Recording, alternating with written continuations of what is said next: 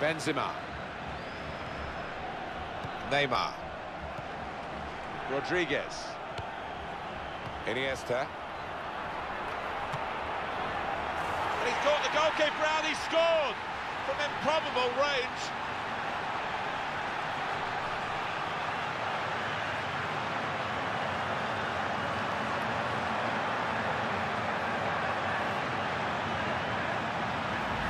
And he's left the keeper looking silly there, beating him from so far out with a proper drive. Well, let's take another look at